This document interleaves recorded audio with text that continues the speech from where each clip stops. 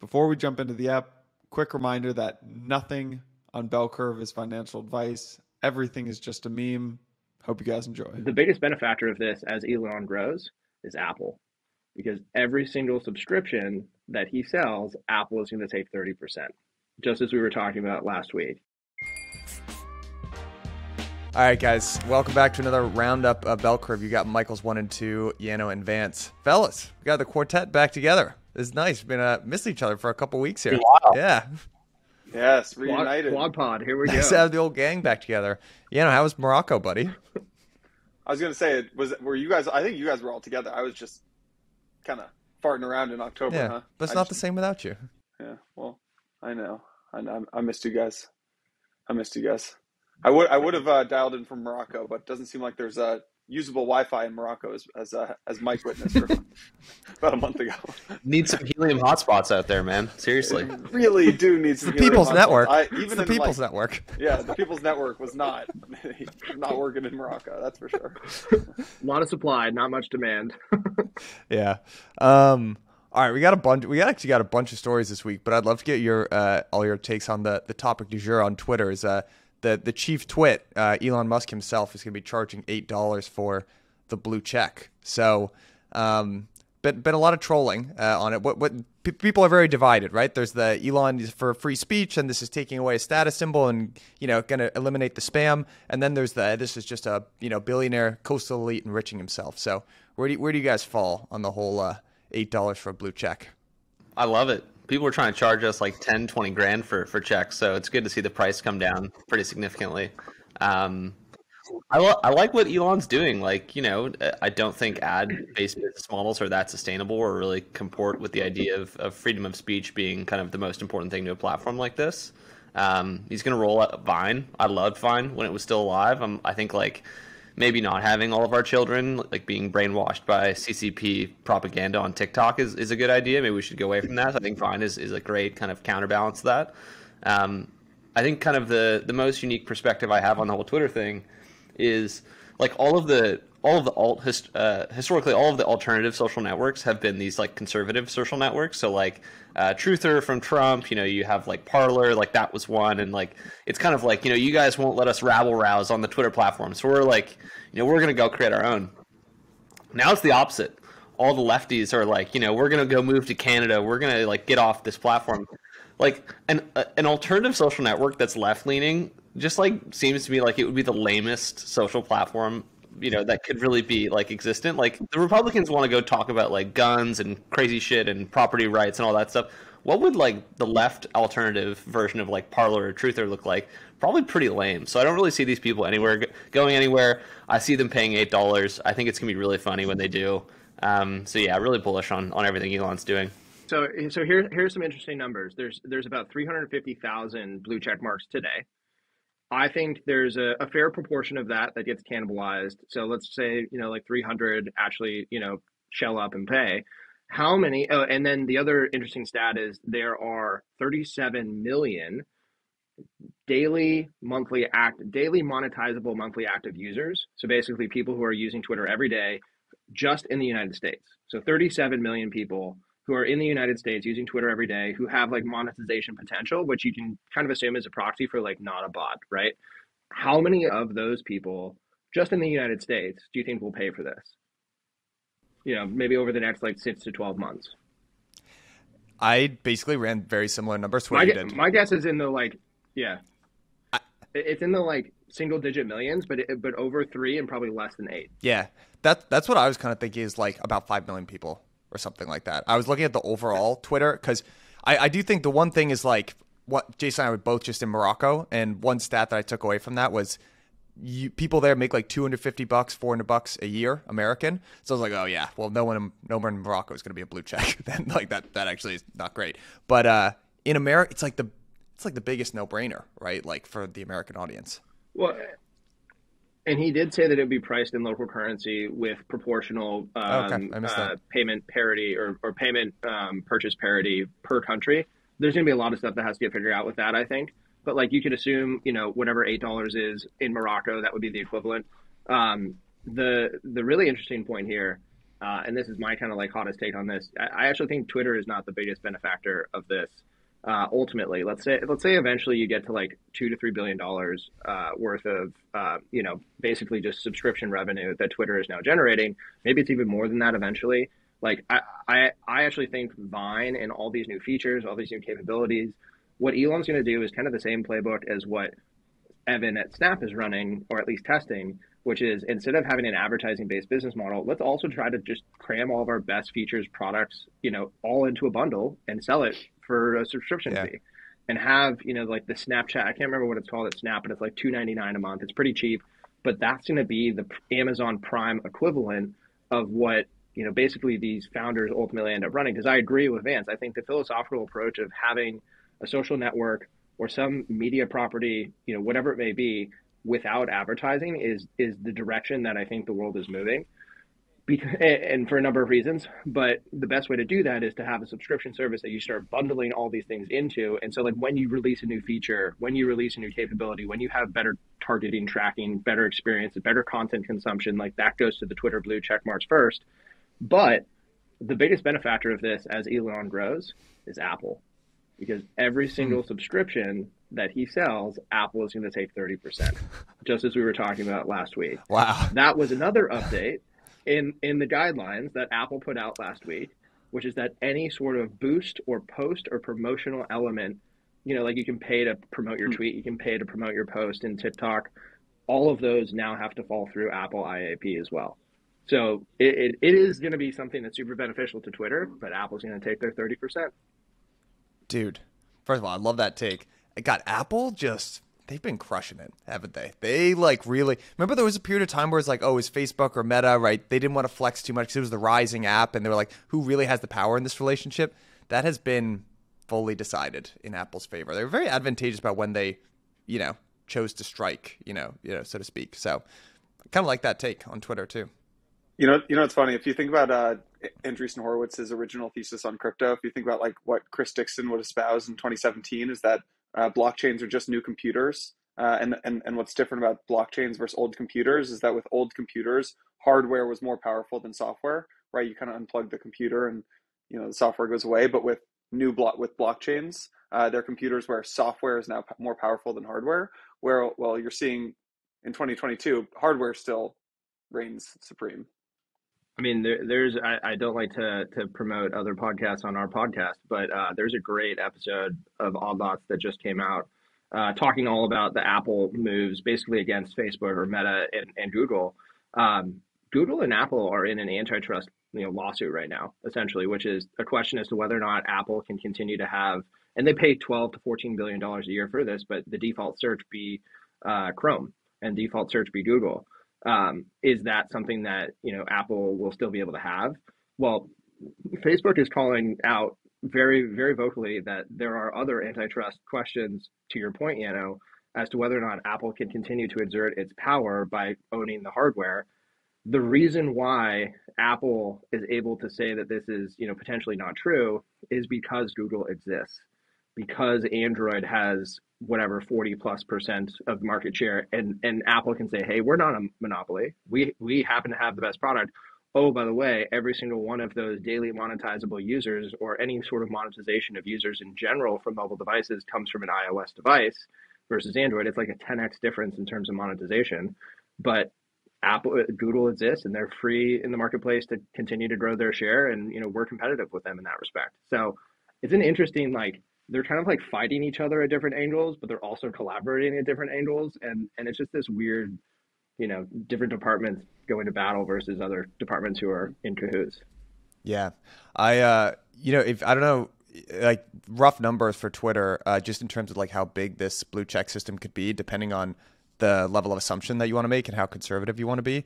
Um, you know, uh, Twitter did five billion in revenue last year they lost uh, their net income on that was like negative 220 million depending on like if you if you want which is which is wild. Yeah. Um i mean they're a money loser since they ipo'd there, there's another rumor that was reported by bloomberg uh, that on friday tomorrow uh, half of the staff will be let go. So assume that about half of that cost structure uh, goes away. Yep. Well all right that's pretty fair. I've you know what's you know what's so funny? We talked about this on the last show right? Him walking in with a kitchen sink. He's like throw it all out with a kitchen sink or whatever.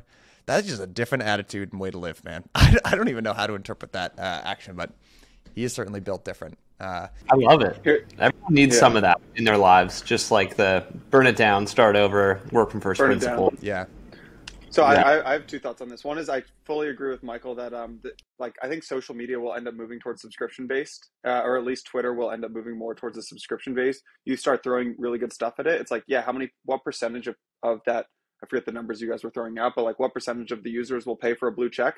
I don't know, two percent or something, three percent. Great. Now what percentage of people will pay for like a much much better DMing? Like DMs in Twitter, an absolute nightmare. Anytime I'm I'm on DMs, I'm like, let's move it to Telegram if it was much better DMs, I, you know, maybe that gets another 3%. Boom, if you get like a Vine like service, that's another 3%. No ads, that's another 3%. And now you've got 15% of the total Twitter base paying for, you know, 5 bucks a month or 8 bucks a month. Then like that that's a really good business right there. you get some stuff. I mean, think about think about what Amazon has done. yeah, At first, it was free shipping. Then it was free shipping plus movies. Now it's free shipping plus movies plus NFL Thursday night, which uh, admittedly have been terrible games, but you get my point. And, and yeah.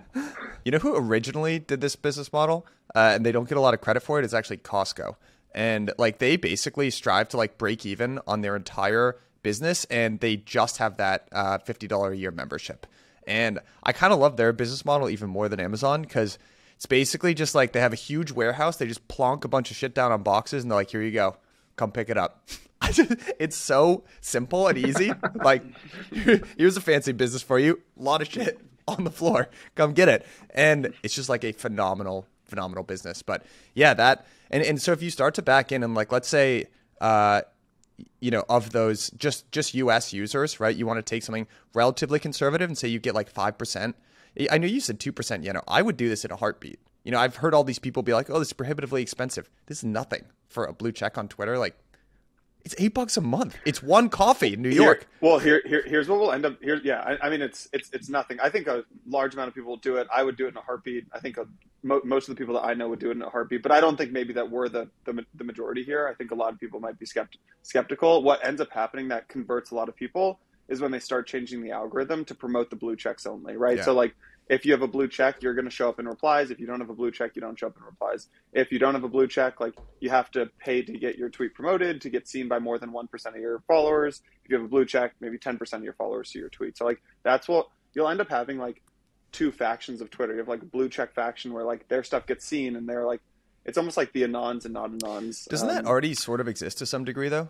Like you're the you're the one with the blue check here, but right? Don't don't when you people reply to you, there's a blue check and a non-blue check, and people usually the blue checks really only check the blue check part of it, so it's very rare to get response. Right? Didn't you say that? people see my tweets because they're just better Yeah. than yours usually. But but I but, Fucking roasted here. no, but I, I no no there is there is like a little on my notifications actually. I have like normal notifications and then I have notifications for only verified people. It's like the verified notifications center, which is pretty. Elitist. Um, It's elitist and it's very elitist of me. Yeah.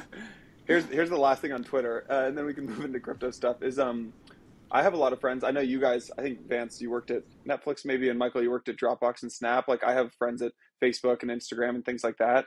Their lives are cushy. Like their lives are very, very, very cushy. This is the end of that period in time of the last decade where like you could kind of be like late 20s, early 30s, mid 30s, kind of getting a lot of money. You're working at like a big tech company in, in San Francisco and like making bank, you're making way more than like your friends like in investment banking who are like grinding their asses off. And I think I think this is the you know, Stripe just laid off 14%.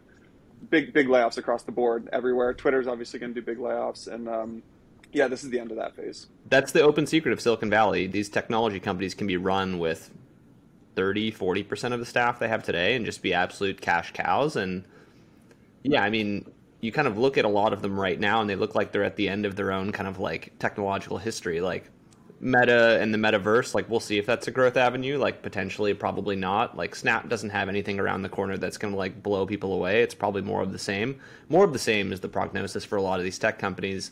And I don't think that lends to an environment where you can run these huge costs and expect nobody to not throw up on it. So, you know, when when risk appetites come back, I think like the last point on this is like all the hedge fund managers, all the guys that we talk to, a lot of them trade in growth stocks. And like, you know, what do you do when the economy is is going to be ripping, or rates are going to be coming down, or you think like the prognosis for a recession is strong, and then you're going to get you know easing. What do you do? You just buy a bunch of growth stocks, and you know you make a bunch of money, and then you can go home.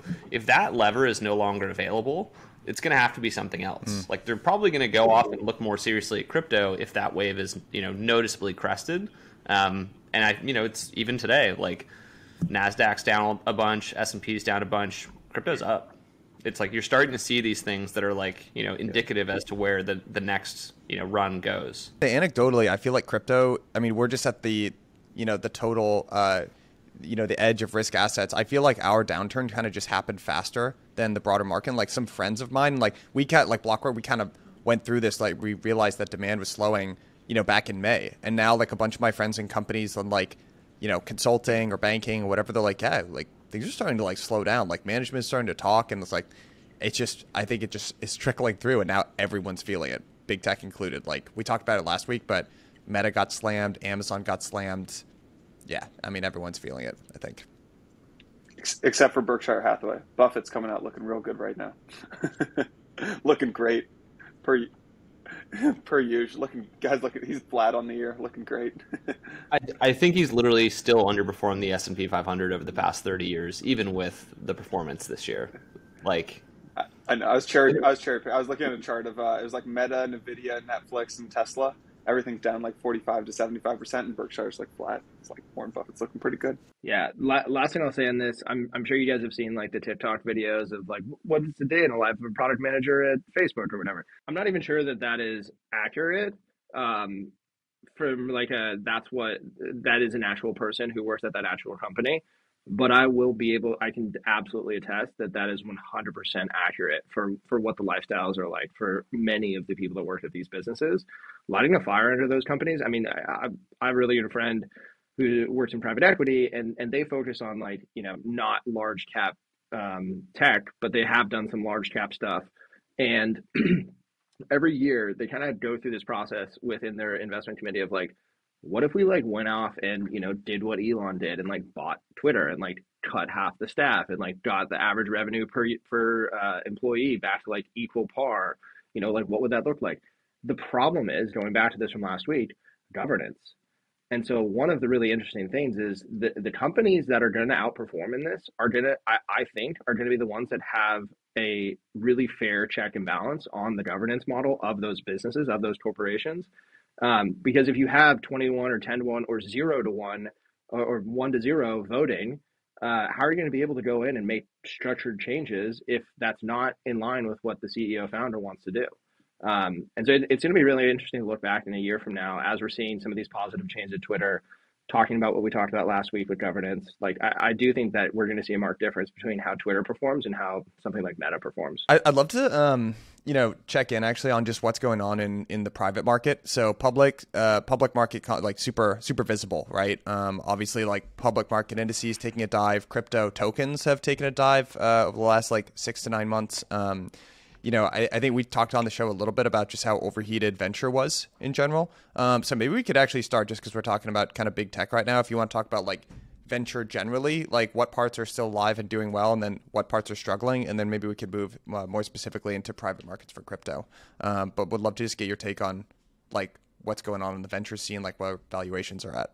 There, so like what's happened the past few weeks is that the class of 2021 who raised in you know January, February, March of last year when the bull run was really in its you know heavy part uh, have come back to market and are trying to raise at similar valuations, and, and people are just not there in terms of the demand, and they're starting to re-rate everything downwards. And so, like you know, we saw a project you know two days ago. Can't mention who it was, but they're trying to raise it like a four hundred million dollar fully diluted valuation, pre-product, pre-launch, pre-everything. Um, and those are just the things that like are just no longer happening. And the higher side of the like the that size of range kind of sets the tone for everything before it. And so we're probably in the midst of you know a 60 70 80 percent correction in the private markets. Um, and that is setting the tone for everything because you know when people ask you why you're not willing to pay you can just point to a lot of the public comps and be like listen this is the outcome if you execute on everything. Um, so it's uh, it's certainly changing a lot changing for the better Um, the different subsectors are kind of d- performing differently. Like there's still a lot of heat on things like Aptos, um, like you know FTX Alameda is kind of like setting the floor for projects there. But outside of that, it's uh, it's kind of a feast or famine market, depending on if you have traction and metrics and revenue or if you don't. The the way I'd break it down is um, you kind of have like a two by two. You've got like crypto or Web three, and then you've got like early crypto and and uh, you know Web two, uh, and then you've got early stage, late stage. And in it, it, we're we're obviously not ones who um, transact very frequently in things that are non crypto, um, but we have a lot of friends who do, and we kind of keep our ear to the ground in terms of what's happening. The late stage Web two side of the world is is dead no deals are getting done. And, and, what I mean here is like B Series B plus. Um, and so usually at a multi-hundred million dollar valuation, and you're raising fifty to a, to two hundred million dollars. Um, a lot of those deals stopped being done basically a year ago. So to Vance's other point, you know, on like the classes of different startups, um, you're going to have to see some of those businesses come back to market pretty soon. Um, and it's going to be really interesting because usually the way that this stuff plays out is you don't start off, you know, coming back to market and you say, okay, I've got, uh, you know, I'm going to just do a down round. It, it usually starts off as we need to raise more capital, but what I'm going to add to it is like structure to this new round. And what structure usually means it's it's usually like liquidation preferences, downside protection, um, you know, covenants in the actual agreement itself that protect the investor or give the investor some guaranteed return so that if the company doesn't make it to that valuation again or sells for something less, like they get their money back. In some cases, they get their money back twice before anybody else gets anything. So like these can be pretty pretty restrictive. Um, so you'll see structured rounds, but you won't actually tell that they're structured round because it'll just say, "Hey, we raised another X amount at our same valuation." The next laid to fall will be uh, actual down rounds. And, and that's where it's like we need capital and we're willing to take a 40, 50, 60% haircut on our valuation and we haven't really seen a lot of that yet. Um, I would imagine that that probably happens in like the early half of the first half of next year, as people really need capital and to survive, um, and they're willing to take the dilution.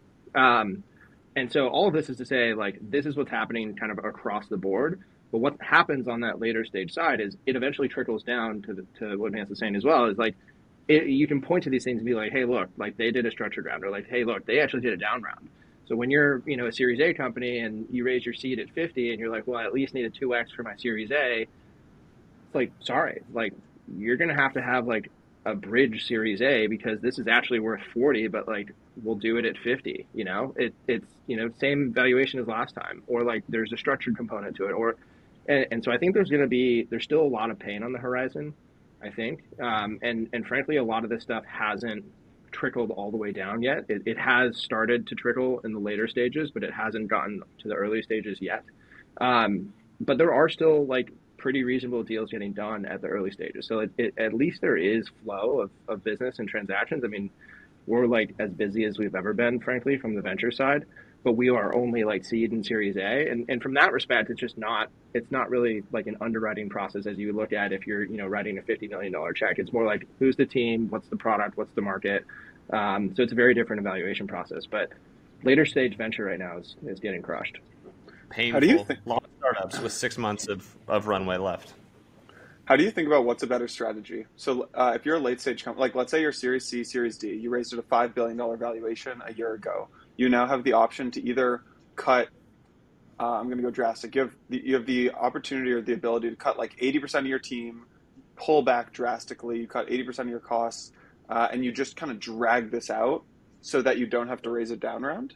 Or you're like, all right, I'm maybe only going to lay off like 10, 15% of people, uh, and just like keep growing market share, keep kind of going to market, building product, hiring devs, uh, but raise like a big down round at like maybe seventy percent haircut. What's a what's the better strategy there? It, it's so I, dependent on what that business is. Like yeah. if yeah. you have a capital light business and you can cut fifty percent and not like kill your growth fifty percent, then that's obviously the thing to do. You know, there there are a lot of these businesses as we're talking about that you know like the the Googles of the world who have the same affliction that are private five billion dollar companies who just like have a ton of people there. Like, why do they have a ton of people there? It doesn't really make a ton of sense. I think that leaning out in those cases makes the most sense, obviously. But it, here and and here's another interesting tidbit. I, I think what's going to happen though, no matter what, whether you raise at a lower valuation or not, is that the investors and the boards of these companies are going to push for lower valuations internally. And and so what I mean by this is you've got a 409A valuation. That's like your v- basic bare bones accounting valuation based on revenue and like growth and public multiples. So that's one thing. That's how you value like the strike price of options when you're giving options to employees what I think will also happen is you're going to start to see, you know, investors in these later rounds that sit on these boards push for internal lower valuations across the entire company. So if you sold pr- preferred shares at five billion, they'll push for a re-rating of what those what that like internal valuation is to like two or three, just be based on market comps alone. And one one piece of information that I saw on Twitter, which unsubstantiated, anecdotal, is uh, and there's a secondary marketplace for LP interest in these venture funds. What's happening right now is the the marketplace for these venture funds is clearing at on average a 40% discount to where the book value is relative to where these where these investments are marked. Um, and so what that suggests to me is that the LPs in these venture funds already know that these things are going to take probably a 40% haircut at some point and that they're willing to buy them at that price because either they think that that's attractive or they want to you know be able to get access to those funds. Usually there's there's some sort of inflation there. So like maybe you know it's actually a 50% discount but they're willing to buy them at 40 to get access to that fund. But yeah i mean i, I think there's going to be a lot of carnage you know internal external valuations. Like a lot of that's going to change. The tough part is it just it takes quarters and years because you either have to go through an internal valuation change or you have to go through a new fundraise some some of these venture funds are just like done, like the growth stage ones. Like you look at like the hot deals that closed over the past two years. Like I was looking on uh, Michael Dempsey, who manages another fund, sent me a sheet. That's like like like a name like Anduril, you know, like American dynamism, very contemporary in terms of you know shipping uh, Ukraine weapons, eighty percent discount. Like, how do you square that with your LPs when you made this huge bet on them, you know, six or twelve months ago? Like I think some of like there's a Web two VC is really bloated. There's like a hundred times as many firms as there are in, in crypto. You're going to see the whole middle section of that market get cut. And I think really the the dynamic moving forward is like the best Web two funds, the good Web three funds because there's just not that many of them, and that's the whole package. But everyone else is going to be shit out of luck in in my opinion. What about um, I, I'd be curious like within the specific uh, stages of cryptos, there's like seed, Series A, Series B, whatever in crypto. I mean, is there like like one thing I've just found kind of tricky, or just I'm trying to figure out is like we all saw Andreessen raise like four billion dollars, right? Like right at the top, um, and I assume most of that is, or a good portion of that is undeployed. I'm just like trying to do math on like how long you know you have to deploy that amount of money, and it, you have to do pretty rapid deal making. Um, and I'm wondering if there are a couple big funds like that with you know dry powder on the sidelines. Basically, is the dry powder on the sideline thing is that actually going to be enough to like sustain valuation somewhat, or do you guys just see? Yeah, I mean, is is it just going to be this slow unwind of valuations in the next six to eight months? Keep, keep in mind with you know those funds that are crypto, like Andreessen. I don't have any information on them, but like I can imagine that this is the case. Like they're also not just putting that into private deals. You know, they're they're probably buying liquid assets um, and how much of that goes into liquid? How much does it? I mean, if liquid gets more attractive and valuations are still the same, you would naturally think that it kind of shifts from a portfolio allocation perspective. So, like, I don't think like four and a half is really like you know dry powder, right? Um, it's sustaining private valuations. The other thing too is like, it, if there aren't attractive deals, it's also hard to justify. There's two ways to get in trouble as a venture firm. Number one, missing something, so why weren't you in that deal? That thing turned into a hundred billion dollar Facebook. The second one is why did you put that much money into that one? And really being able to justify that when you look over the ter- the tear sheet next fundraise and it's like, okay, you are the board partner on that. You put 50 million into that. Like, let's go back over why and like revisit your investment thesis. So I think there is potential, you know, career risk in some of these situations for putting large amounts of capital as a multi-billion dollar fund does uh, or has to into into some you know you know things that we're talking about now could potentially be overvalued. To, to be clear, like not all the startups are dead. Like you kind of see two types right. of charts. One is like our revenue was mostly a bull market phenomenon. We're leveraged, super leveraged the cycle of users, KPI, uh, you know, users adoptions, you know, people trading shitcoins and NFTs, things like that. Like that's kind of like one chart that you see. I would say that's probably 80% of the charts that we see in terms of like people pitching us stuff. The other 20% are like we're about to break our bull run all time high monthly revenue. We have a clear path to 10x this. Um, and like we're just going to keep executing. Those are the startups where we're just telling them, here's more money. Try to buy your competitors out of the marketplace in terms of just growing your market share, hiring more people. Um, the problem with those deals, like the deals that are you know up and to the right in terms of revenue, those are like Series A, Series B companies.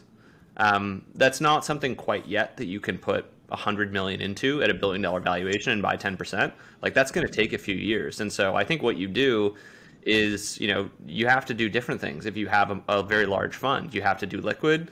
You have to wait the market out to let these companies mature. Um, but it's not going to be the same playbook as, as the bull run.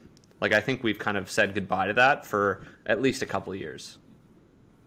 Like like giving you know like giving uh, OpenSea, you know, four hundred million dollars at a thirteen and a half billion dollar valuation. Ditto Alchemy, you know, giving Moonbird sixty million. You know, like those are the things which are going to be your LPs are just going to ask questions um, around how this works and, and how does it generate revenue at scale.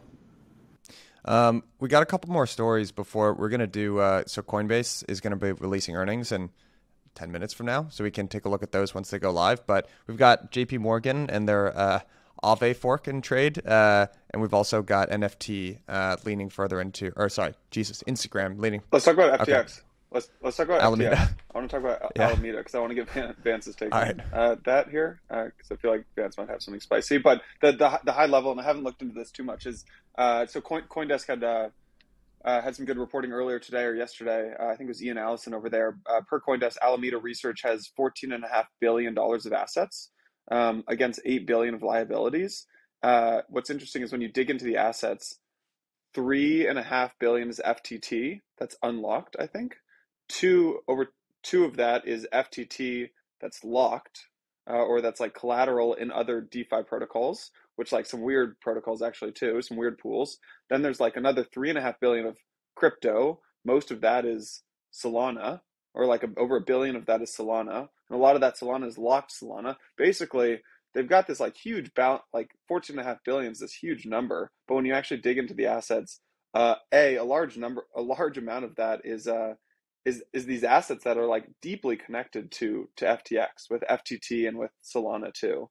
And furthermore, uh, a lot of the where they've put that, a lot of the like collateral that they have is uh, against these like FTT tokens, which Alameda, which is like kind of the quasi trading arm of FTX or like linked to it, obviously very directly, um, ho- holds you know sometimes 99% of it so i don't know like vance when you start digging into this kind of a balance sheet what what kind of flags go up? obviously there are probably some red flags like what what what do you start thinking yeah so on an asset basis the first thing that stands out is that alameda owns over 10% of solana um, which is like you know a token distribution that I've never seen in my entire life, um, and so you know it just gives you a sense of uh, how much of the network they own um, and what their priority stack ranking is. Um, and I think they have a lot of SOL, but the bigger one is the FTT, right? Like that is clearly the strategically most important asset on their balance sheet. It's the one where they're collateralizing the most with it on DeFi and CeFi, borrowing stables or whatever against it. Um, but it's like the problem with these two assets and and you know really holding large assets that are semi-liquid at scale right now is that if you had to sell you know a billion of solana the market just would not be able to digest that especially when the potential largest buyer of it is you like you know usually like when we trade coins we know who we're trading against it's either jump or alameda or like maybe wintermute if they're trading that day but like the participant set is not infinite.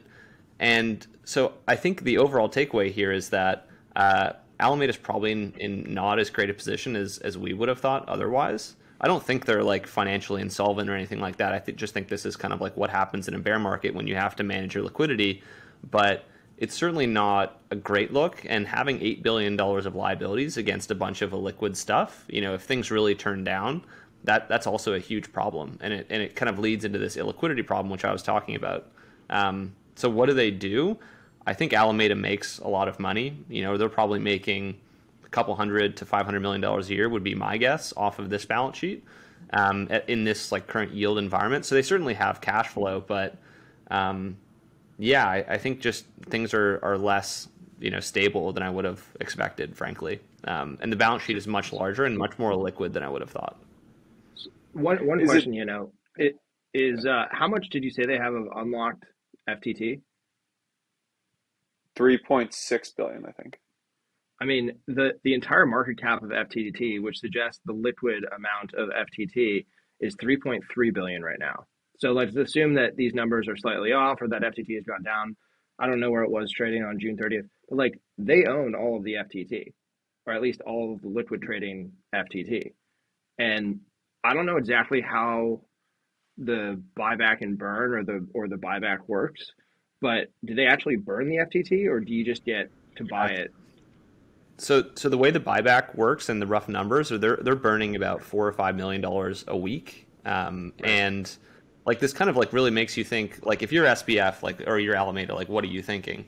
Um, what I'm thinking is I really need to defend the price of FTT, and so it, it, makes a lot of sense that they're putting this much money on a weekly basis into doing that. Like that's a lot of money they could just be you know putting into Alameda or FTX or whatever. So like that makes sense. The second thing I'm trying to do is get out of the SOL, or or at least slowly you know, manage my liquidity to a better position, or like frankly, like build up Solana DeFi so that I can actually put in a couple billion dollars of SOL and draw, you know, a few hundred million of stablecoins against it.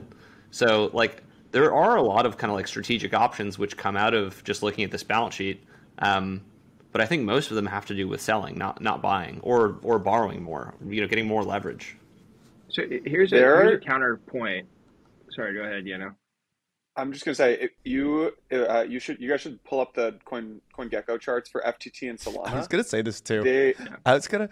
They there's very there's there's interesting price action, which is they both fell to thirty bucks. They're kind of just going down. They fell to thirty bucks. They're just there's basically an infinite bid. There's been an infinite bid at thirty dollars since kind of the exact same day, which is like the first week of June. So I don't know what's going on there, but like I don't know. There's just this infinite bid at thirty dollars for both those assets since the first week of June, and like they just don't budge from thirty. Yeah, so like when I when like when I look at the Solana every day, like how I can tell if it's like a bad day or a good day generally, or if it's over or above thirty dollars or under or or below uh, thirty dollars, like that kind of broke last week, and and FTT is now at twenty four like figuring out what the re-rating of these could be in the context of their balance sheet and what that forces them to do, especially when you look at something like Magic Internet Money, uh, which is a protocol which produces a stablecoin, and almost 40%, $70 million of their backing collateral is FTT.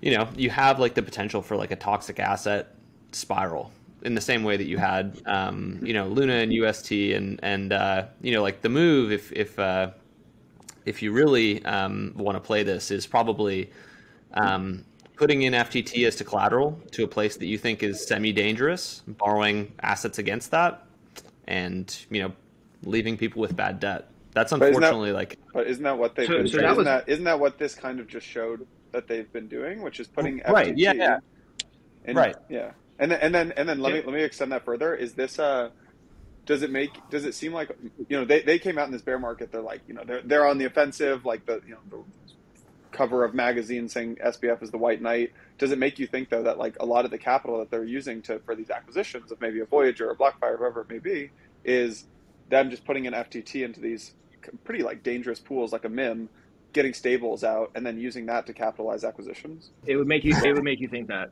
the the the the so you kind of touched on it, but like what I was going to say is. It, this could be like the completely rational strategy. Uh, and what happens if FTT like goes away, goes to zero, like gets, you know, however many billions of dollars of locked FTT is liquidated on market. Like, what actually happens in that instance? I, I don't know. Like, it, there really isn't anything that kind of really happens because of that, because FTX is just going to continue on in the same way that it is. It just won't have the burn, or the burn will be burning a ton of FTT. So, like, that's that's the thing that's holding it up. Um, Alameda loses a balance sheet item, but or a balance sheet liability, but they gain the asset that they have borrowed as collateral. like which is you know a massive multi-billion dollar position, like I, I could see a world where everything just kind of like blows up and it's still okay, right? Or am I missing something? Honestly, I'd forgotten about FTT until like it came up in, this context. Like I didn't know that it was eight billion dollars fully diluted, that it had you know this this type of profile, or was this important to them strategically. Um, I think other people realizing this is going to make the outcome where you know they really try to test the liquidity of FTT more likely. Um, just like you know when people knew that the Do was potentially in a position of weakness, like we saw a lot of people that we know try to basically short it and, and take shots at him. Like that's kind of what happens um, when when people realize it. I don't think it's like an all good, you can just walk away style scenario. I think you have the collapse of at least five or 10 DeFi protocols. Um, and then you have the, the cycle down of, of the Solana asset because people will know that that's the only other assets on their balance sheet if FTT spirals. Um, so it's like there's this combinatorial effect, which I don't think is just like it's all good. I, th- I think this is like potentially very risky, but it feels like SBF is rich enough where he could just backstop it from FTX as well. So hmm. I don't know how it works. Maybe this is why uh, they're raising more money right now. I feel like if Alameda saw themselves in the market, they would poach them. You know what I mean? Like when when Alameda saw uh, uh, Celsius offside on the stETH trade, they like po- they made them crumble. Right? I feel like if Alameda saw themselves, they would take them out here because yeah, they're very levered to the price of Sol. I've also maybe we should talk. I don't know. I, I've heard rumors that uh, like Alameda, FTX, SBF, whatever, however, whatever entity he's working through is basically supporting the price of Sol at thirty bucks. But I think these are unfounded rumors that I've yeah I've heard around the water cooler. We, we don't know. The, the only thing I'll say about these scenarios is like I'm in this group chat with a bunch of fund managers. Uh, like I think Su and Kyle used to be in the chat, and they've since been kind of you know kicked out. But like it went from what? you know what they do? What, have, what those guys? They're good guys. It, it went it went from every being everybody being like buddy buddy to people being like where where's where's three arrows strike price? Like where's where's the map like people trying to like basically hunt them while they were still in the telegram group? It's like you know people it's vicious out there. Um and so you kind of need to carry like a big stick and and threaten people with it every once in a while. Um but in the do kwon scenario that didn't really help that much. You know so it's like you need a lot of capital to defend an eight billion dollar coin or a twelve billion dollar coin. Like, what do you guys think of these interviews that he's doing? Have you seen any of these at like the Unchained interview or the the coinage one or whatever? Yeah. Have you watched any of them? The the Do yeah. interviews. Yeah. I kind of I. I'm, I'm, waiting for the interviews. Those are the ones which I'm the most interested in. For the, for the what? The Su and Kyle interviews. Oh, they yeah. gave one in Bloomberg. Did you see this? Yeah, I, I, need I need to see the video. You know them talking. I want to see the just like the whole vibe. But the Do, the Do Kwon interviews are are strange. Um, it doesn't seem possible that he's still out there just living his life, and like also on Twitter. Um, I don't know if I get much from it other than it didn't work, and a lot of people got hurt. It's probably the only real take that matters, honestly. Yeah. Uh, this doesn't seem like the the end of the FTX story. Uh, we can move past FTX, but I feel like there's. I think this FTX thing is going to be in the. I, I think this is the this. start. This is not the end. Yeah. Yeah, exactly. For, for, the record, I am I am like on the team of like I think they're solvent. I hope they're solvent. Oh, I do too. I'm not. I'm rooting yeah. for them. Yeah, yeah, yeah. I just think where like usually where there's smoke, there's fire. People are going to be looking at this. It's a bear market. These are the things that happen in bear markets. They also just allocated a bunch of capital. Like if I'm BlockFi, I'm fingers crossed like their deal still goes through. You know, like I'm. I, this is these are just the things that happen in bear markets. So keep in mind, like you guys are in this business, like everyone is reading these articles for a reason. Somebody decided to leak this to the press for a reason. Like you know, somebody didn't just stumble upon this. Um, and so like I wonder what that is. Is is kind of my other question. Hundred percent. Yeah. Um, I, I guess I mean maybe this is like even too simple of a take, but if you had made me guess what does Alameda's balance sheet look like, this is just not what I would have thought it resembled. I, I thought it would be like Bitcoin. Ethan, I thought I would have said too. You, you don't think it would it would, it would uh, resemble a, a retail trader's portfolio? no. Yeah, we got some sushi, we got some rocket pool, but like think think of it this way too. Like if I told you that a VC that had a tendency to sell owned 10% of a coin that you thought was going to go up, like that doesn't seem to fit logically. Like you're going to have a serious headwind when Solana comes back in my opinion, just cuz this liquidity situation looks like it needs to be managed and it feels like Alameda is going to be, you know, pretty on the ball when it comes to getting more cash on their balance sheet if this is really what it looks like. Yeah. I wonder if they're just trying to wait it out. I mean, that that that was my kind of very simple take. Is I, I kind of just think they're looking at this being like, yeah, eventually, in maybe it's one year, two years, or whatever, bull market will return, liquidity will come back to FTT and Solana and all that stuff, and they can exit, you know, at a, a pretty good position, I would say. But I, I was just surprised that it wasn't. I, th- I, I thought it would have been like 50% cash is their portfolio. I was just surprised that this is how it looked, to be honest.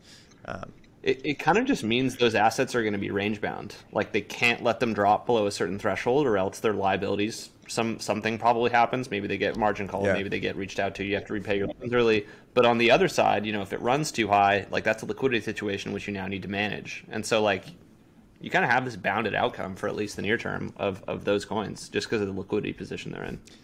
Yeah. So you're saying there's an SBF put on on Solana? I very much I tweeted this. I tweeted this when he was originally talking about buying Bitcoin. I very much do think there is an SBF put, you know, around. He said it was around 17 or 16k Bitcoin. I don't know what that would be for Solana. Probably like 22, 25 dollars. Um, but yeah, when when like the richest person in crypto tells you there's a put, you kind of got to believe them. Yeah, fair enough. Um, I would love to. Uh, I think maybe we could talk about Instagram uh, moving deeper into NFTs uh, in general. I'm not sure if you guys um, uh, heard about this, but basically they uh, Instagram announced. You know, do you actually want to talk about this story? I feel like you were you had some thoughts on it. Yeah, I mean, let's um, let's do Aave for a second. Okay. Aave and JP Morgan because I think that will segue because that was also on Polygon. That'll segue into Instagram in a second. Um, and I've just been spending more time with the JP Morgan. I was I've been talking to Tyrone Ty from JP Morgan all morning about the deal, so I know just a little bit more about it. Um, basically, Singapore is very into crypto. Singapore has been very pro crypto for a long time. Uh, they have something called the Monetary Monetary Authority of Singapore (MAS). Um, they have Project Guardian to basically get more into crypto. They went to J.P. Morgan um, to basically do a, a, crypto experiment. And so what what they actually did here is uh, J.P. Morgan built this essentially permissioned. It's really a permissioned DeFi thing uh, built on. It was, it was a fork of Aave Arc. Um, and what they did is they tokenized, they worked with uh, Singapore's largest bank, which is DBS, um, and then uh, uh, Tokyo uh, Bank, which is SBI. And they basically tokenized JPY, the yen, and they tokenized SGD, um, which is the Singapore dollar. And they put it in, they basically created like a, a pool essentially in, in, in this like forked version of Aave Arc on Polygon. Um, and and they swapped assets on it. So it was like super permissioned, like about as permissioned DeFi as you can get. Um, but it was, I mean, it was a live cross currency transaction on a fork of Aave Arc, which is pretty cool. So, yeah, that's the that's that's the overview. Um, there there there are more hope, first, which I can talk about. But yeah, what do, what do you guys think about this? I hope this is the start of uh, a longer term commitment to doing these things and bringing clients on chain. It feels like a lot of these bank pilots end in like, okay, we're going to go build our own permission blockchain. Thanks for trying it out live in the public. Or like they just don't have the follow through. But these are things that we need to be doing. I'm glad that Polygon's BD team is like strong enough and also shows that they're pretty dynamic. They can do the gaming stuff, they can do the big institutional stuff. Um, TBD how much value this actually brings to crypto.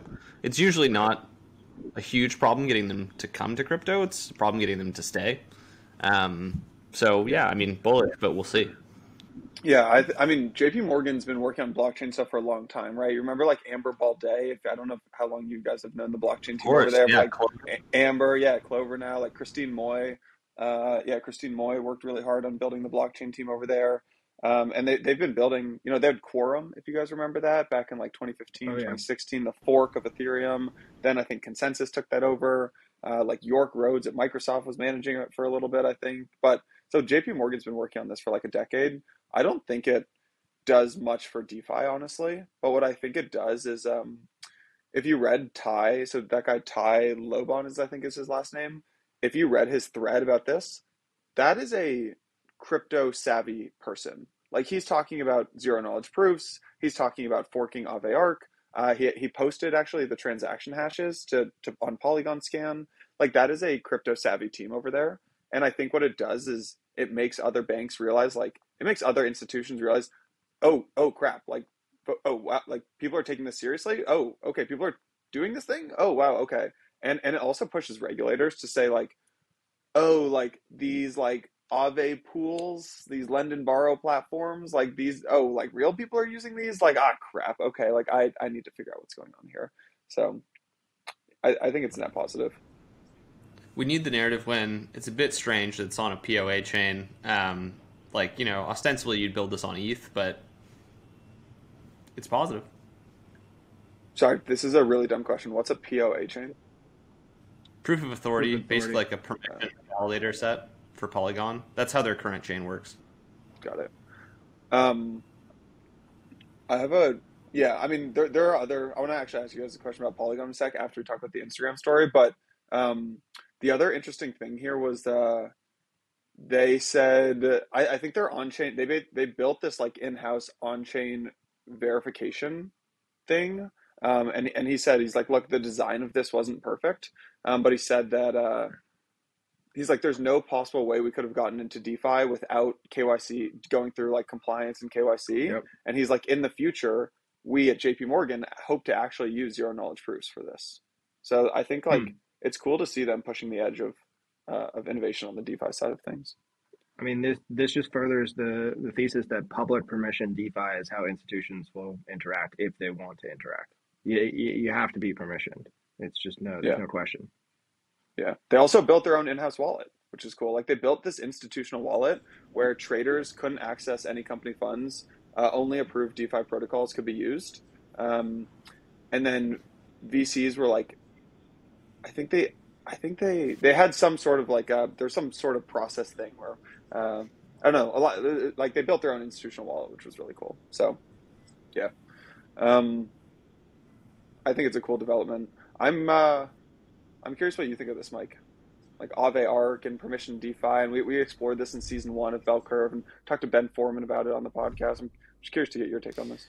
Um, yeah, I have like a pretty hard time getting. I think it's like a great. I think it's. I basically agree with what we've said. Like it's a it's a positive development. Yeah. It's hard for me to feel like super excited about things because kind of like maybe it's a POC, maybe it goes somewhere, but like maybe it's just I don't know. It, it, hasn't gone anywhere in the past in any of these POCs that I've kind of watched. Um, I, I guess I, I'm having trouble uh, envisioning what the future for DeFi might look like because, on the one hand, you know, Michael, like I know we talked about on our panel back at DAS London, right? Like it, it seems very bullish for actually permission DeFi, right? Where all the assets are institutions, they simply cannot interact with a financial system that doesn't do KYC, all that kind of stuff.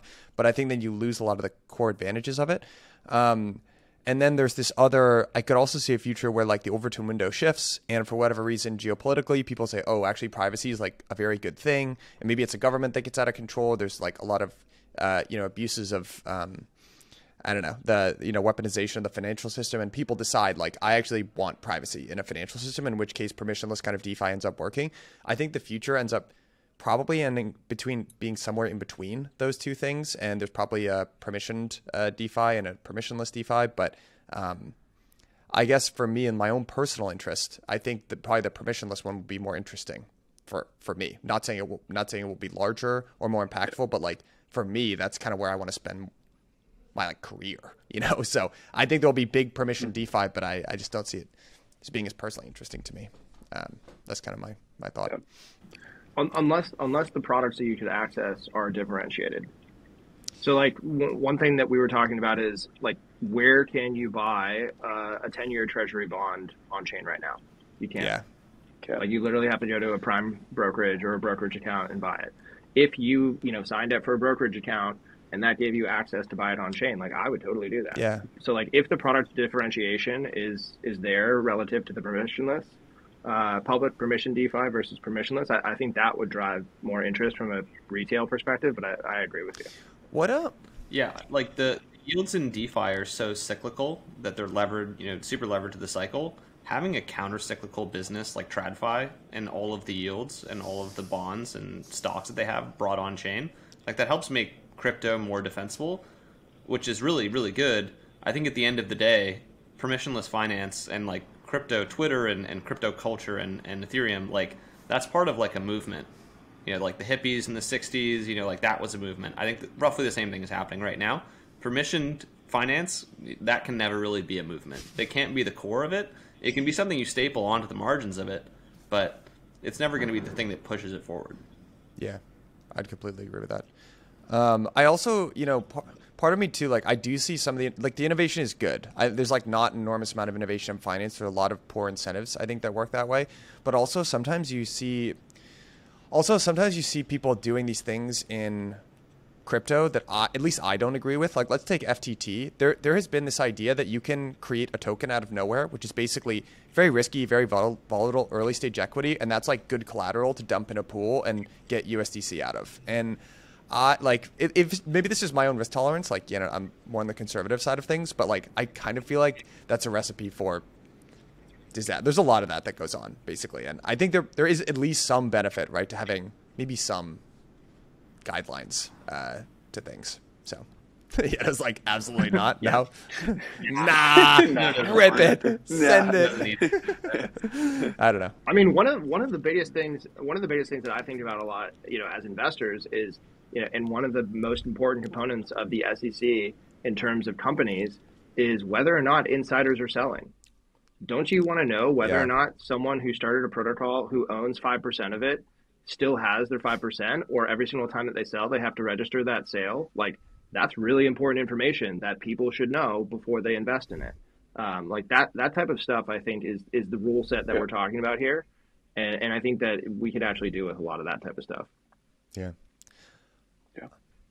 I have, I have, I have. Well, one, I can, I can fill you guys one more prediction actually okay. on this about the whole uh, the yields. I think Circle is going to start to print unreal revenue, and I think there are going to be a bunch of businesses that start to challenge them. Like they have a sweet business, and their business is literally buy super short dated, super liquid treasuries and earn billions of dollars. like that's straight up their business right now. And I think a bunch of companies are going to look at that and be like, oh, I'd actually like to compete. Like Coinbase is starting to compete for some of those yields with Circle. They're trying to get in in a way because they have the Centre consortium together and they have a, a revenue split based on where the USDC is custodied. So that's I think the best way to understand like the PSM thing and Maker and they'll probably go and hunt for USDC deposits so they can boost up that like there's a really important line item for them on their on their income statement, which is they've got they're talking about their subscription, like other revenue, right? We're not a transaction based businesses. We're yeah, we have other um, and an enormous part of that right now is uh, interest actually that they generate. So, yeah. Uh, I mean, so let's. Uh, I mean, great transition. If you want to talk about it, it is, I, I messed out. up. It's five thirty. Um, it's five thirty. They're coming out. So yeah, we're gonna miss it by like an hour. No, no, no, no. Earning, earnings are out. Earnings oh, are oh, really? out. The call is at five thirty. Oh, nice. Let's go. Um, but uh, so I, I, I actually think Coinbase is also one of the hugest benefactors of this as well because who would you trust more to custody your assets, Circle or Coinbase? Yeah. And if you're custodying your USDC with Coinbase, they get they get that cut. I mean, it, it is I think what happens when like we're going to go into a world, and this is one of the things we were talking about with treasuries on chain, where like r- real risk-free rate yield is going to be four plus percent at least probably for a little while. Whether or not that persists into like 2024 remains to be seen but at least for a while, you're going to have um, some pretty pretty reliable sources of yield. And I think you know the the places like Coinbase are are going to uh, benefit from it. Once again, one of the things that you see in this Q3 breakdown, which I've been looking at in the background for the last five minutes. What a do I big miss though? Big miss on Coinbase earnings, huh? Big miss, but look at the stock. Yeah, because they missed less than people thought they would miss. No, they missed. So, what are the results? Can you read them, Michael? My guess here. Yeah, so they had net revenue 576 million, 366 of which was transaction revenue, 211 of which was subscription and services revenue. Uh, so the shift from transaction to services is happening faster than people expected. It seems. Um, they had Q2, so these are the numbers Q2 to Q3 uh, trading. It doesn't have trading revenue, but volume of of Q2 was 217 billion. Volume for Q3 was 159 billion, whereas subscription and services revenue went from 147 to 211 Q2 to Q3 respectively. So it, it is increasing at a faster rate than people expected, and that's why I think you see the stock trading flat right now. Yeah. Did you see Even even though they missed you know estimates by 50 what's their 60 million. EBITDA? Does it say at what you're looking at? Because Uh, the reason I'm asking is Coinbase has basically guided investors towards uh, negative 500 million in EBITDA on the year. So basically, they can lose like as long as they're losing only losing in EBITDA like 220 million or something like that this quarter, to 210 to 230, something like that. If they basically keep that loss relatively steady, volumes don't completely collapse, and they grow their subscription.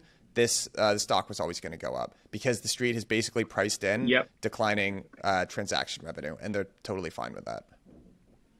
exactly. It was 116 million uh, net adjusted EBITDA loss for the Oh, quarter. that's like way above. That's way above expect. They were projected to lose so, like better. so Well, that's yeah. the that so that's the other thing what they guided what the outlook was for q3 was approximately a billion in r&d spend with 400 million in stock-based comp. Um, for sales and marketing they were 25% lower than their expectations and for r&d they were about 10% lower than their expectations. So costs were actually lower than expectations and transaction revenue up or sorry uh, subscription revenue up. They're they're probably you know they they fired the CPO or you know he left you know this week like you know you you read that article at that period of time for a specific reason. And you know they knew what the financials were and so they couched that with with like re- something really important generally with news and everything that comes up is like every picture that you see in every story every headline every like it's all there for a reason. It's all very pro forma prescripted you know whatever you want to call it. Like this feels like they're trying to you know this is like the turn.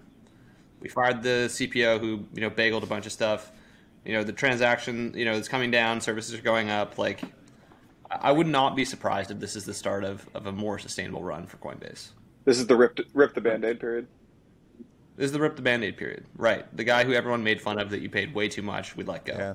we're gonna find Yeah. a new cpo yeah. Yeah. Still still burning 500 million a quarter. Not They Not but they got but no, they, no, no, no. That was that was net income. Yeah, that was net it's income. not That cash. wasn't cash. They also have like six billion in cash uh, to burn. They're like they've got such a big cushion.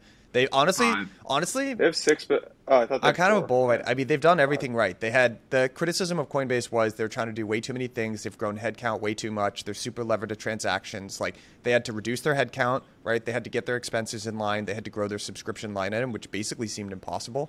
And they're kind of doing it. Um, and they, they actually might be a, a monster in. I mean, I wonder how that 200 million or whatever breaks out, but uh, I I wonder how much of that is staking. I think I think they might they they might have like a monster staking business on their hands. Frankly, uh, They do. Yeah. They do. They have a million CB ETH. They probably got, you know, I think like four or five or six million staked centralized ETH. Like, they are by far the biggest ETH staker that we know of. Um, Yeah. And that is So going to be the core of their blockchain. In in so so Mike, here we go. Uh, it blockchain rewards staking, um, basically in line from last quarter. Custodial fee revenue slightly down from last quarter. Um, other subscription services and services revenue, which is I, I would imagine the Coinbase Coinbase Cloud, that's up. And when, exactly the biggest one uh, last quarter it was 32 and a half bill, uh, 32 and a half million from interest income. This quarter it was 102 million. look at that. So it's up 3x. That's wild. And they Quarter over that quarter. and they just got Yeah. their whole PSM thing. That's 1.6 billion going in, and they they like basically assume uh, 50% of. I mean that that sorry. Let's let's assume you have, they have to pay 1.5 percent of that to Maker, and then they probably get another Yeah. like But they're making at least four. yeah four 4% Yeah, at least that's what that's what three month Treasury bills. That's like the most liquid thing you can you know short term short duration thing you can buy, um, and they got to pay some of that to Circle, but that's going to be like tens of millions uh, in additional income there. And they'll probably run that back with multiple DeFi protocols. I bet you're going to see that Coinbase institutional team slide into the DMs or onto the forums of a whole bunch of different uh, big DeFi protocols because this was pretty successful for him. Yeah. It's not just the protocols Sadly- though. If you look at if you look at the earnings from uh, 12 months ago, 10% of like so they have this, this like top 100 hedge fund list. Uh, Coinbase in la- uh, in 12 months ago earnings said 10% of those 100 are uh, custodying and like trading crypto with Coinbase. Today's earnings announcement said 25%. So it's like at the end of the day, if you're a big hedge fund and you want to get into trading crypto, like you go to Coinbase, and to have 25% of the world's 100 largest hedge funds custodied with you is a they're going to be fine. The tough Like the tough part though is institutional uh, year over year. Uh, obviously, is uh, tra- transaction revenue versus retail Yeah. is down about three x, uh, Yeah. and it's just been bleeding out. Basically, just the institutional side has been bleeding out in addition to retail over the last four quarters. Custodian revenue, which you would assume is going up, if that what you're saying, Yano, is true, uh, is is going down, which I think also represents a compression of custodian fees. Like, It's it's sort of like where do you want to store your assets? Well, we're just going to store it at whatever the cheapest place is. It takes you know six minutes for us to transact one custodian to the other. Um, so I, I think custodian revenue is really going to take a hit, but it is going to be interest income from USDC as well as uh, staking rewards. Those are going to be the two things that persist. Hundred percent. They all. I, I actually actually disagree with that. I, I don't think the the treasury, you know, whatever business is going to persist at all. Like I think you're kind of at an abnormally high, you know, rate for all interest rates. This is kind of like when last year everyone thought the DeFi yields were going to continue forever. I think the same thing is happening here. Um, I don't think this is going to be a sustainable business for them. I think it's going to be something they did that when we look back on it in, in a couple of years, looks like a, just a moment in time thing. Um, unless I- you really I- believe the I- I'm not sure I agree. I No, no, you don't. You don't have to believe that interest rates stay up. What you have to believe is that more assets come on the platform, then interest rates go down. Yeah. Uh, also, we we've just reverted to like historically normal interest rates. Like th- these these are not crazy rates. Uh, th- this is like we were in an aberration before where they were that low. I think. Um, but the, If you assume rates stick around at like let's say two, three percent, I, I would imagine they are able to increase the amount of assets on platform well over two to three x. two two three percent sure, but like here or higher, I just I fundamentally don't. I will say the what what one thing that's a funky situation is that we've got an inverted yield curve. So usually the short term rates are lower than the the long term rates, and it's weird that's not the case. So probably there is room to fall for short term rates. But last thing, because I know we're gonna wrap up soon, is that the the derivatives market. Like this will probably come up on the so they acquired FairX, uh, Coinbase, and uh, you've heard SBF like lightly talk about this. Um, I think I think it's a big regulatory battle, but like the market for U.S. derivatives in crypto is still very much anyone's game. I would say um, CME, obviously very storied institution, kind of a head start. I they they will they will struggle uh, based on their. Uh, they probably won't move as fast as some of the crypto natives like FTX and Coinbase, and I I think they will run into challenges. I would, if I had to guess, I'd say Coinbase or FTX split that market. Um, but that and that's a huge opportunity. It's like a fifty billion dollar market or something. Like that's large. I have one last thing because I, I know we need to wrap this up, but I do want to. In, so Instagram, I want to get back to Mike's thing about Instagram and Polygon for a second because that'll tie into my last question I want to ask here, which is um, Instagram has just rolled out the ability to basically mint using uh, mint NFTs inside of Instagram using Polygon. You can also like view or sell or something like that with some other things like Flow and, and Solana. Um, big news. Obviously, Polygon's team is totally crushing it. Um, they, they did that with Reddit as well. I'm curious, do you guys think that Polygon ends up declaring independence from Ethereum one day and like becoming their own L1 to try to drive more value back to Matic holders? Because they're working on their own data availability availability layer, and I'm just like, what? It, it feels here. Let me. I'll the, the premise of that question. It feels like Matic. It feels like Polygon has basically like their marketing right now is really smart because that they the the ETH crowd likes them because they're not in the camp of like Avalanche or Solana where like the ETH crowd's like, oh, I don't like the alt L1s. So they're like, oh no, everything that we do on Polygon is good for ETH. But really, if you look at what they're building, like they're building their whole data availability, uh, data availability layer, like they're kind of building the full stack of an L1 blockchain. Do they end up like just moving away from ETH so that Matic ends up getting more valuable? So data availability doesn't mean, yeah, data availability doesn't mean that they move away from ETH. It just means that what they put onto ETH is is smaller. Uh, uh, Arbitrum is also building its own data availability, data sampling uh, component, which I, I, can't remember what they're called, but like they're any they're like AnyTrust or something like Arb- anyways the, the like L3 basically supernet equivalent for Arbitrum is with a known set of validators who are going to be performing data availability data sampling and then one or two of those validators will put that call data on chain I think that that will be kind of the playbook that Polygon runs as well, um, because you're still going to need some trusted settlement layer. It's just a question of like what you're putting on chain that uh, you know is, is kind of the core question here. I still think that that's ETH. Yep. Yeah, and you know ETH is going to be the payment token for uh, their zk uh, solution for the POA chain as well. Like like they're doing the work to align themselves with ETH. I think in good faith. Um, and yeah, like I think if they were to break from ETH right now or in the next three or four years, they wouldn't be strong enough to basically fend off competition from people who run the Polygon playbook, but like three years back in time. Just kidding. We're the real, you know, L2s, and we have yeah. the best. It's like you know, hot ball of money, hot ball of users. Yeah. It all is kind of the same thing. I, I, let me just ask this question to close it. Like Instagram rolling out NFT, I, I have a real. I don't feel like I've got a good smart take or thought on like the interaction between Instagram rolling out NFTs? Like, do people buy NFTs or use them through Instagram, or how, how do those two things collide? I just don't understand it. I'll be honest. I don't have a good thought. This is the, this is the classic mistake of like, if I just get one percent of this huge market, I'm going to be gigantic. Yeah. You know, the better idea is I want to get 100% of the weird crypto degen activity that's happening on ETH and the weird people who use it and maybe that'll be a big market someday. But we're doing the thing because it's small. We like it. Feels like a movement. Um, I hope it plays out like the Reddit NFT stuff. It's just it's hard to get people to use stuff that they're not familiar with, um, and I think that's the core problem that they're going to have.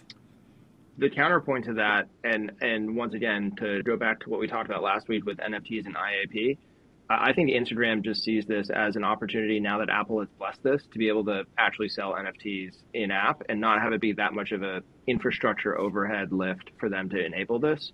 If people really want to, like, think about it. We just talked about how many people work at Instagram who work at Meta. You know, there's probably like five PM sitting around one day and like a team of 25 engineers who are like twiddling their thumbs waiting for some work to do and then they see Apple come out with new guidelines, and now it's like, okay, great, let's go off and build that and see if it works. Like, n- no skin off our backs. And that's exactly like the process. I think. I don't think this is like a structured, strategic move. I think this is more just like, cool, guidelines say this, let's go do that. Wouldn't I mean, just hearing you say that actually, wouldn't that be kind of interesting? I mean, that's like the one of the bigger monopoly. I know they've got better PR and everything, but Apple, their App Store business is the definition of a monopoly, in my in my opinion, right? Like, and they, their take rate is enormous, right? Thirty percent or fifteen percent or whatever it is. Uh, it would be interesting if that was one of the developments that actually pushed people towards Web three because they don't want to pay that arduous take rate. Um, uh, but once again, as Yano said, what what phone are you going to use that's not an iOS device? You have to pay the take. I don't rate. want a green text. Yeah, I do not want a green text. Yeah, it's we, awful. I, I, don't want you bringing green text. Siri, I do too. It feels dirty. I, a, I hate I, it. You want to hear a true story? You want to hear a true story? I have I have a brother and a sister, and uh, we my brother's not in my group chat with my family because he has a he doesn't he has a green text. Fun one, guys. This week, I will. Uh, we'll see y'all next time.